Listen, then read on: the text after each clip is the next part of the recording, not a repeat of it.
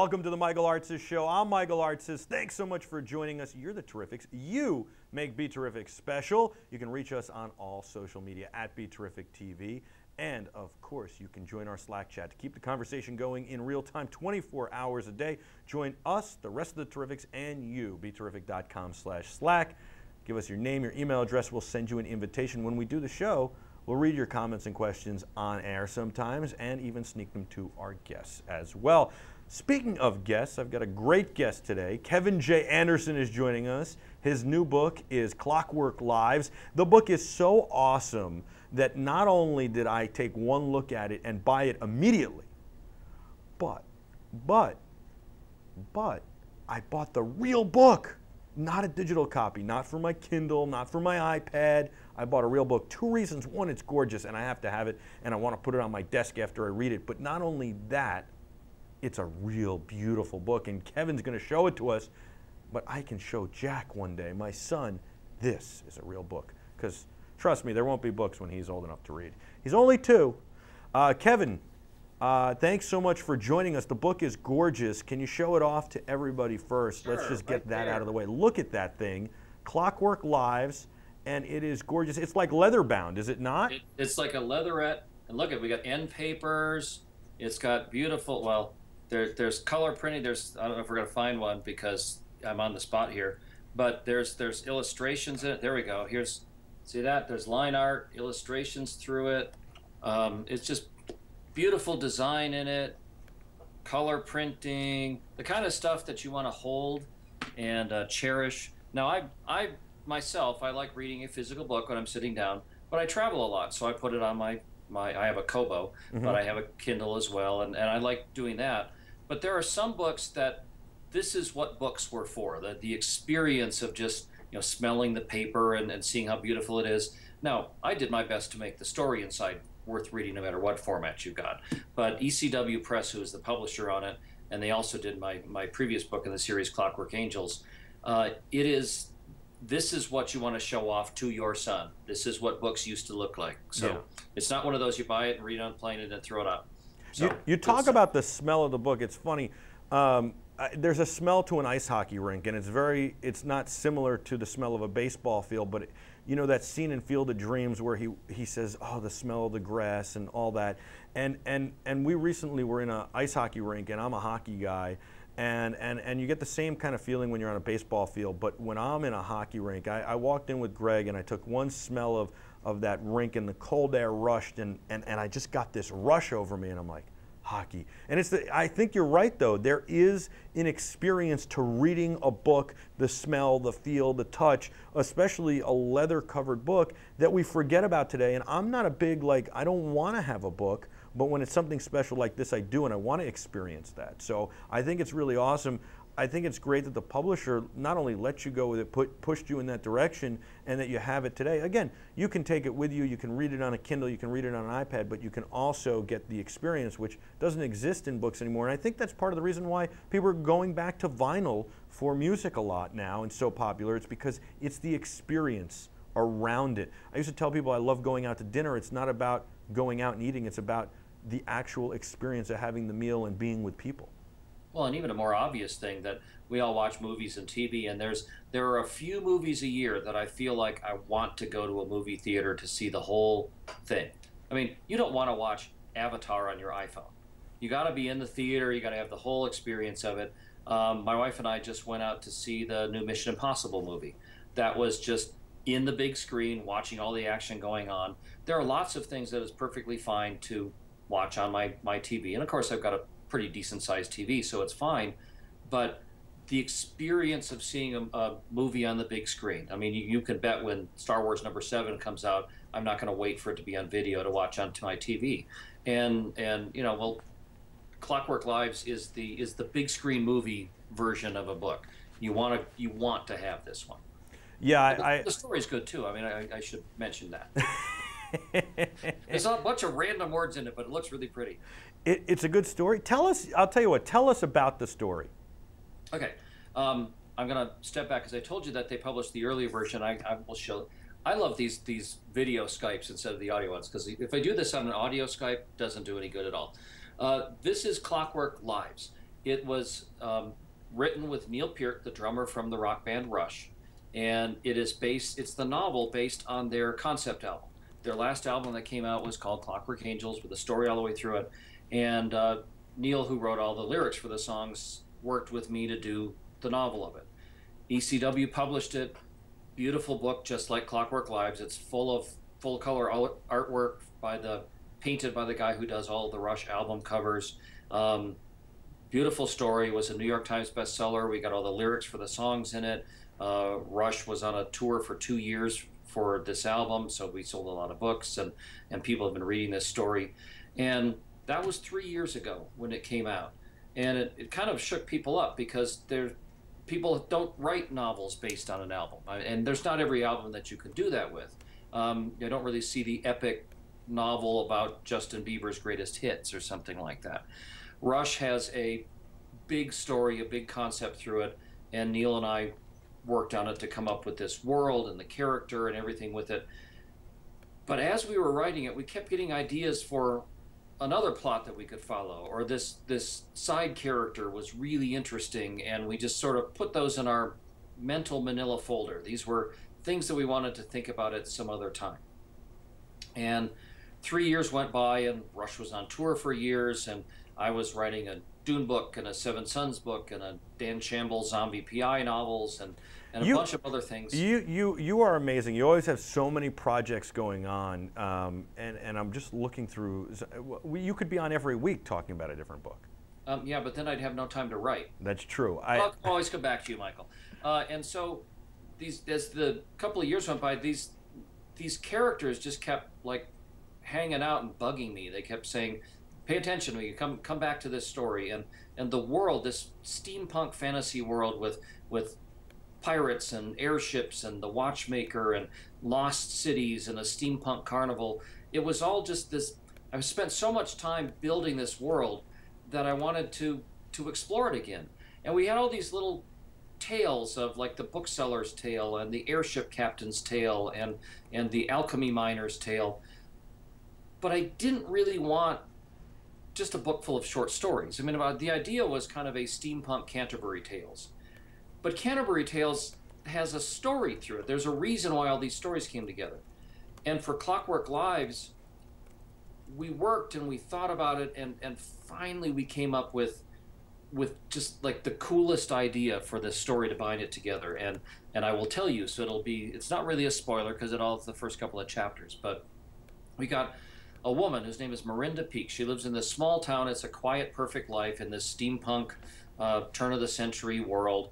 And she doesn't want to adventure. She doesn't want to do anything else. She just wants to have her her home. And she gave up the man she loved to, and she wanted to marry. She gave up her career. She gave up everything because her father is sick, and she has to take care of him. And she's tending him for years. And she basically let life pass her by. Then when she di- when he dies, the first words in his will are At first you will hate me for this, and then you'll love me for it. He cuts her out of her entire inheritance and only gives her a book, a wow. blank book that she has to go fill with the stories of other people who had lives that she didn't have. And until she fills this book, she can't go back home. And it's a magical book, it's an alchemical book that if she gets a drop of blood from somebody, and drops it onto the page, then it spills out their whole life story. Wow. That's where the tales come through. But she has her own story. She's going around the world. She meets up with the pirates and she falls in love with the with the fishermen and she explores the alchemy mines and she goes to the lost cities and she has her own story and she's somebody who never wanted to adventure so she has to grow and, and ex- explore everything as her own character and it all ties together and out of the I've published close to 130 books, and this really is one of my very favorites out of all of them. Wow, that's very cool. I'm looking forward to checking it out. It's really, really exciting to me. Um, did you write this like you normally write? You live in Colorado, you take a walk and you record it into a uh, audio recorder, and then you uh, say, "Here, transcribe this to somebody." That, is that how you wrote this? That's exactly how I did it. The uh, it even worked more interesting than that because like I said, this has just been on my back burner for a couple of years. And Neil and I talked about it but we didn't have any really big plans. And it just so happened that I had finished this this gangbusters writing of a book called Blood of the Cosmos, this 800 page manuscript that uh, that's the book we were talking about the last time I was on a, a month or two ago. Yeah. Um, I had finished writing that book and my brain was empty. I mean, I crashed through writing 800 pages in, in a few months. And so I just went out into the mountains. I threw the tent and the sleeping bag in the back of my truck, drove out to this national forest with some trails I wanted to hike, and I just wasn't going to do anything. I was going to just recuperate.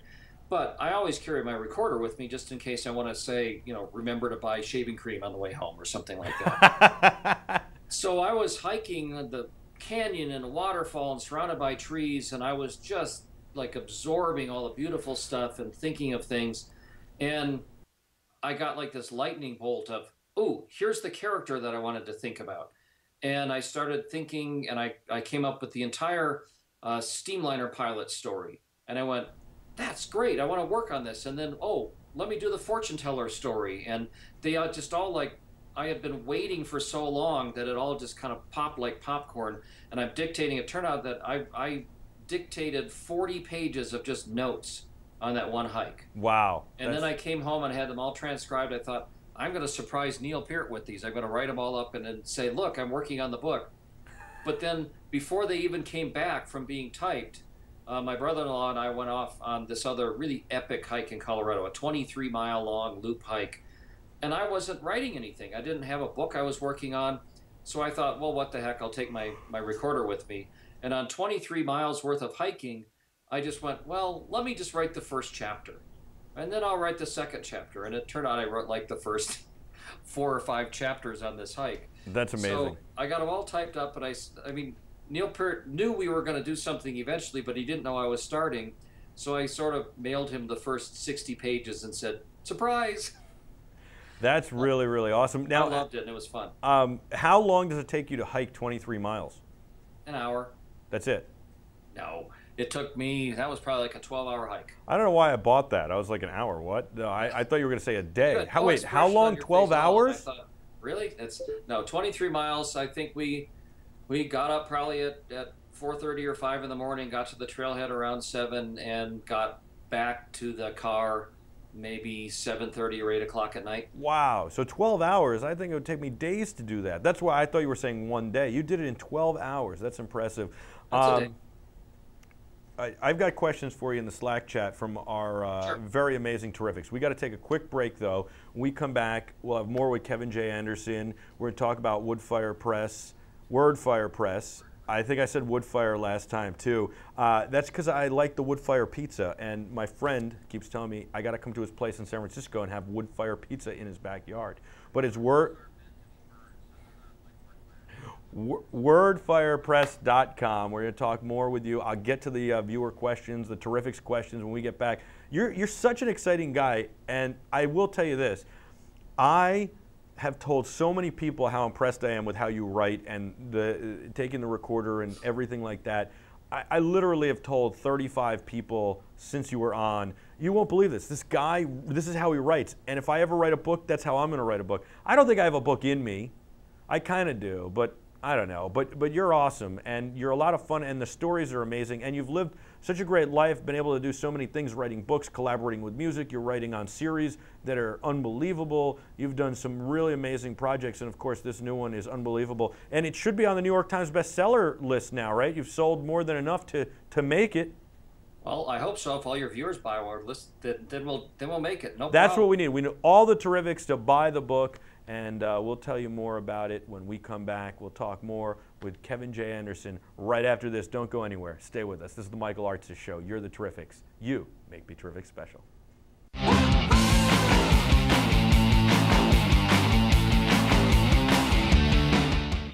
Rode microphones are the official microphones of Be Terrific. Find out more at rodemic.com.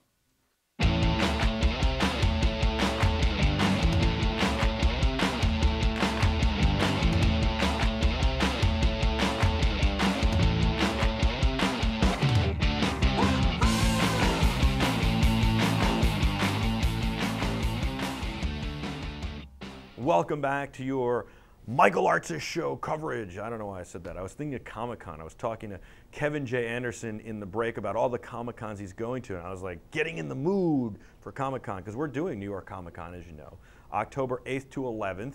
It's going to be live continuing coverage and that's going to be exciting. Uh, Andrea is going to be joining us to co-host the coverage and the festivities, and we're also going to have two sets, one on the main floor and one in the hallway. The second set will be in the Project Triforce booth, and that's going to be amazing. And we're going to introduce you guys to Andrea uh, in uh, the next few days. I think next week she's going to come on uh, via Skype. She's from Los Angeles, but you guys are going to love her. She's amazing. Andrea Fasano. All right, I've got Kevin J. Anderson here joining us via Skype from Colorado, and he is talking to us about all sorts of cool stuff, writing, his new book. It's unbelievable. And I've got a lot of questions in the Slack chat that I have to get to. So I guess uh, the first one, well, first of all, thank you for joining us and, and, welcome. and welcome. Uh, show the book again. Oh, you should always show the book, Clockwork Lives. It's, it's just keep this up. You know how it's going to be? Uh, first of all, it's a gorgeous book. I should mention again, I bought this book when you showed it to me. First of all, I get a lot of books sent to me. I don't usually buy books. And the books I buy, I buy digitally because I don't. I'm a germaphobe. I don't like paper and all that stuff. But this, is, I need the experience, and it's a beautiful book. I I didn't even wait for like, hey, we'll send you a copy. I bought one. I wanted to support you. I, you come on the show a lot, and I like that, and you're awesome. So, and it's a great book, and I want to be able to show my son Jack. You know. I appreciate it. So I want the viewers to know, like, that's how cool I think this book is. I, I think everybody's got to got to get it. You got to check it out and um, help you get on the New York Times bestseller list for sure. Uh, wordfirepress.com to find out more, by the way. You mentioned, before I get to the viewers, I wanted to ask you something. You mentioned the Kobo before. Um, what about the Kobo? Do you like it? Why do you have a Kobo? Um, because I've thought about the Kobo when it first came out, and then I was like, ah, Kindle's better, I think, and then an iPad. That's the answer. Well, I had a I had a Kindle when they first came out. In fact, I've had probably three Kindles. Um, every there is a point to this answer. Um, every year, I have a big writers' workshop that I run called the Superstars Writing Seminars, and um, it teaches the business of writing and the publishing industry and building your career. And one of our guest speakers for year after year is the guy who runs Kobo, uh, the Kobo Writing Life for all authors to put up their own stuff, just like on Kindle, you can put a Kindle desktop publishing.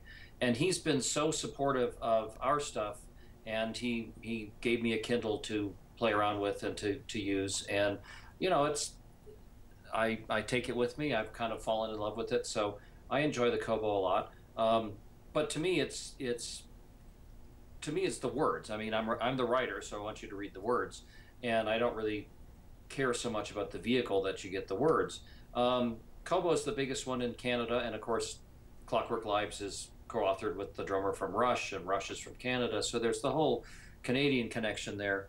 But you know, I, I enjoy using my Kobo. I, I I have not really played with a Nook. I'm I'm not really advertising any specific one, but I personally have a Kobo that I use. Cool. You like it? I like it. Yeah. Cool. Uh, Janny wanted to know what it was like co-authoring a book with a musician, especially because musicians are a lot of times uh, they're very much artistic and they always have these unusual concepts, especially when you talk music videos with them. And so Janny's watching in Finland, and he's like, "Hey, what's it like writing a book with a guy who's really a, a musician, but probably is way out there with his conceptual ideas and creativity?"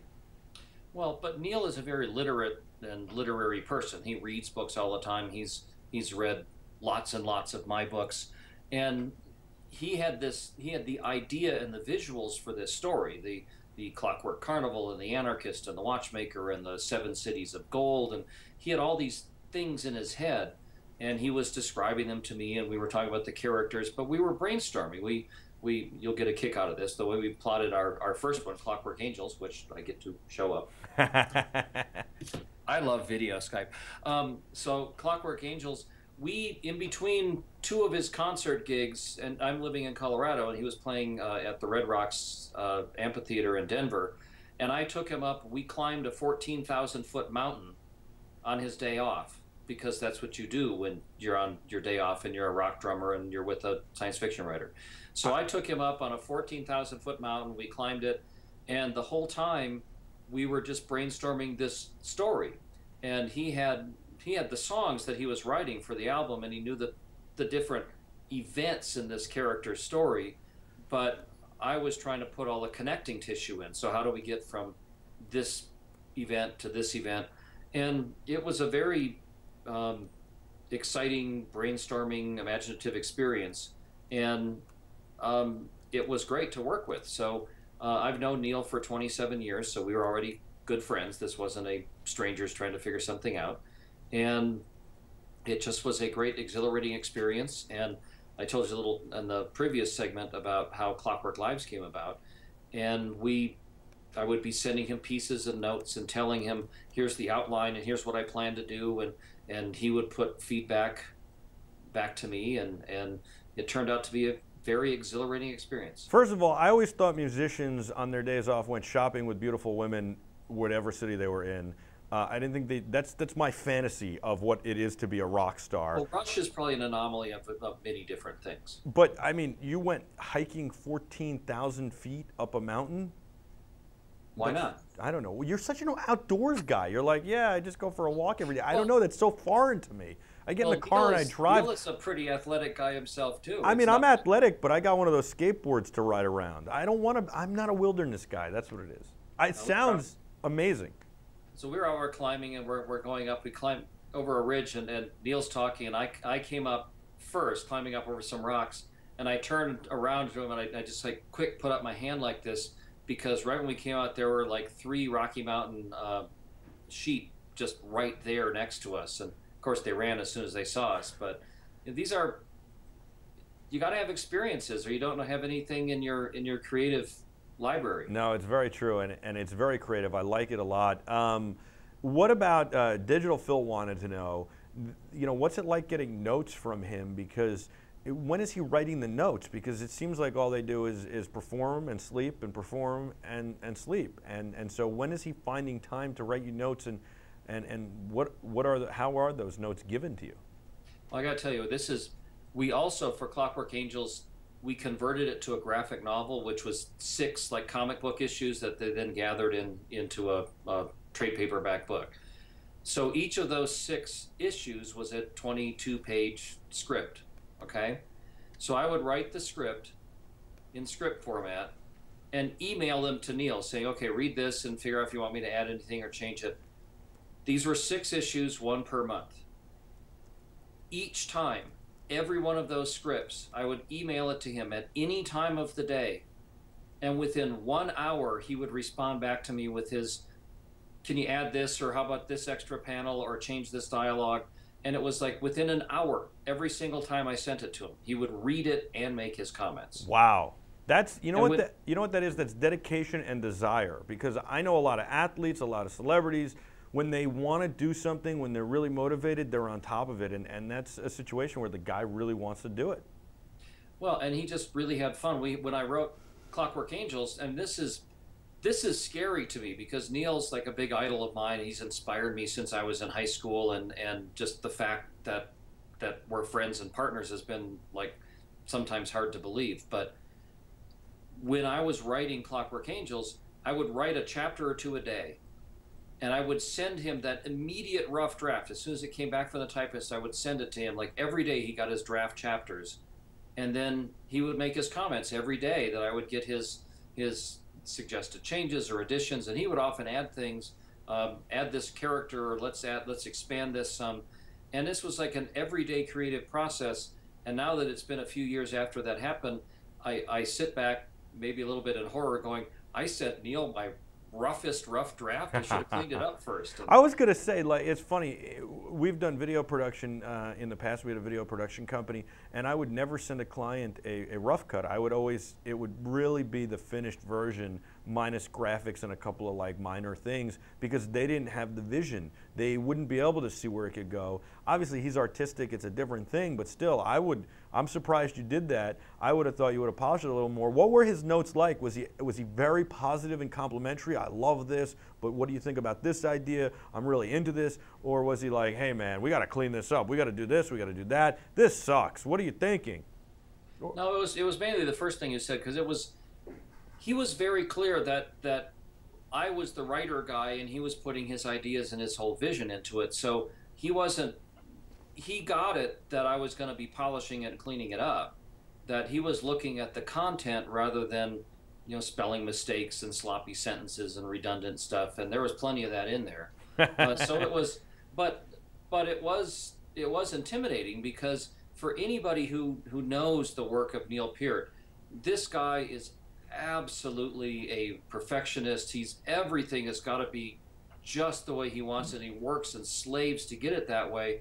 So for me to be, you know, it's intimidating because if I was going to write something, what if what if he turned out to be this this nightmare collaborator, this impossible person to work with, and he wasn't that way at all. Well, uh, I could imagine that that would be a problem uh, and an issue. But as you talk about somebody being amazing and a professional and a perfectionist, I can only imagine him in the studio and how hard he would be working. Uh, I've seen guys in the studio and how hard they work, but it's also probably about the shows and how he pulls it off. So many people love Rush, and it's their favorite band. Ray Choquette, who is G Wiz's dad, G Wiz being Greg Choquette, our producer here on the Michael Artsis show, his favorite band is Rush, and he loves Neil he he is like the biggest Neil fan, and I think it's because of his chase of perfection. Because he talks about how everything sounds perfect and how every album flows together and how everything is put together so well, and he just wanted to know. Did you get to see some of the precision that he has in the studio actually come out in the way you work together? And did you ever have phone calls, or was it all just sending notes? Well, I mean, we'd meet a couple of times a year when they were on tour. and I would go and see them, and we would hang out and have dinner beforehand or stuff. Or mostly because our schedules were kind of off. Because I'm here in Colorado, and who knows what city he was in when they were touring. Um, email was what worked best, but there were there were times I'd get seven, eight emails a day from him with with comments on this or ideas back and forth. And there's a lot of stuff about alchemy in Clockwork Angels and Clockwork Lives that it's a steampunk world where alchemy works. So the watchmaker can create gold, and there's like this free energy source called cold fire that that everything runs on. And Neil was kind of getting getting off on his own tangent of studying alchemy, and we could put this thing in, and there are alchemical symbols throughout that that sort of mean something here and there. And we kind of each did our own thing that we were best at. And I've just as I've said many times, that I'm I'm so pleased with these books that I, I write a lot of books and I'm, I'm I never turn in anything that I don't think is, is as good as I can possibly make it. But these two books are are something special in that that everything came out exactly the way I want it to be. Like you finish it and you go, yeah, that worked. Everything just fit together right. Uh, that sounds amazing. I love when that happens. It's it's just perfect. It, it's great. Um, we're going to take a quick break, and we got to get to some more of our terrifics questions when we come back. Also, we got to know uh, what events you're going to be at soon, like which Comic Cons, so we can promote that as well, and people can go visit you and say hello. We also have a couple of viewers who have some interesting uh, questions. And then, um, of course, I, I want to know, um, you know, quickly about um, the the best way to reach you? Is there a fan club, stuff like that, and, and what the future holds? So we're going to get all that and a whole lot more with Kevin J. Anderson when we come back right after this.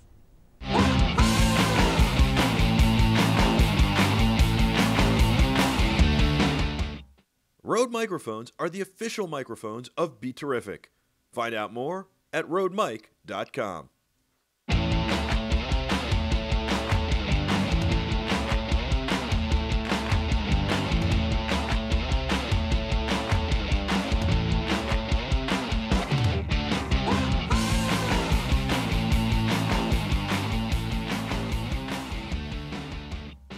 Welcome back to the Michael Artsis Show. I'm Michael Artsis. You're the Terrifics. You make Be Terrific special. Thanks so much for joining us at Be Terrific TV on all social media. I've got Kevin J. Anderson joining us via Skype. Amazing guy. I've got some questions I got to get to from the Terrifics.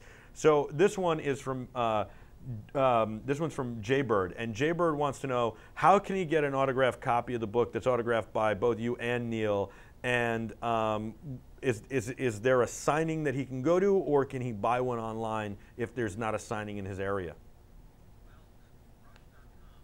Had them available online. There were 500 of them that Neil and I sold, and I'm sorry they sold out in less than 24 hours. Wow. So, Con- wow. So Congratulations. Kind of not going to happen. That's it. No more. Because I'm I'm traveling all over the place and signing books. But I was at Dragon Con last weekend, and and uh, I'm at Rose City Comic Con in Portland this weekend, and at Salt Lake Comic Con next weekend. So I'm all over the place, which means my autograph's worthless. But um, Neil's Neil's not going to be doing signings with me because he'd just get totally mobbed. So right. Well, sorry. Well, that's too bad, disappointing. But but they can get your autograph by going to any of these comic cons that you're going to, um, which I think is good. Yeah. And can they go to Word? and and I've got uh, my own website. We have a little bookstore page on it. It's wordfire.com, and there's a little thing called Quick Order, one of the pull down things, and I've got got um, signed Clockwork Lives on there for it's I think it's thirty bucks plus five bucks postage. So it's not it's not a big collectible thing. I'm just trying to sell some books. So Right. No, that's uh, cool. What do you do Quick Order on wordfire.com. if somebody orders one off of there? Can you can they personalize it? Can they If say? ask. Okay, Yep. excellent, very cool. And then um, uh, JT Hockey wanted to know. Um, well, he wanted to know what Comic Cons you're going to be at, but I think you just answered that. Um, but you you want to tell people where they can find the schedule of where you'll be um, as far as Comic Cons go? Well, I've got, like I said, I'm going to be at Portland, Rose City Comic Con this weekend. I, I fly out tomorrow. And then next weekend, I'll be in Salt Lake for the Salt Lake Comic Con. Then over the Halloween weekend, I'll be in LA for Comikaze, Stan Lee's Comikaze. Sure. And Oh, those you're- are the three. You're doing Comikaze. That's going to be a lot of fun. Uh, this is our second. We were there the very first year, and, and we loved it. This is just the next time that we got to come around, uh, and and this is the embarrassing thing. I've published 130 books and 50 some bestsellers, and my website sucks, and we're fixing it. So uh, I I don't quite have the, the calendar of appearances usable yet. We're we're working on it, but I also have books to be writing, so it's it's on the list of things to do. Uh, Well, uh, you got it. Everybody knows now. What was Dragon Con like? Dragon Con is always my favorite con of the year. I, well, we just counted. This was my 21st Dragon Con that I've been to. I've missed one Dragon Con in the past 22 years.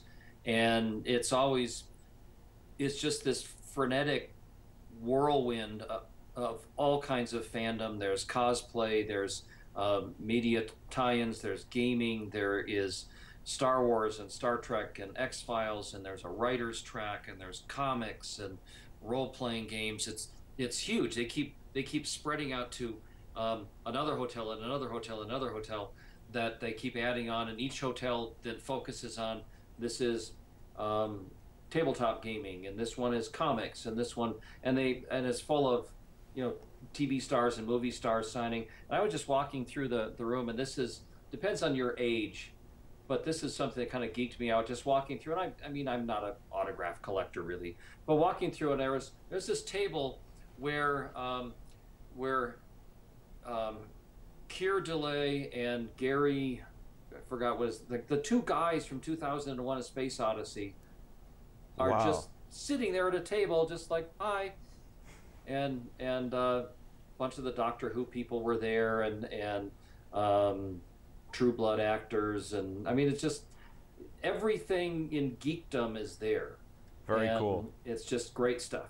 I- And uh, the extender wanted to know: Do you have a favorite con? Uh, and maybe it is Dragon Con. I don't know. Dragon Con, I think is I, I mean, I do a lot of them, and because we're we're exhibiting and doing panels, I, I'm kind of on the working end of the the con, so I don't go there just for fun because this is my job. Uh, but Dragon Con it sort of is the a little bit of everything for everybody. But you know, we've done so many.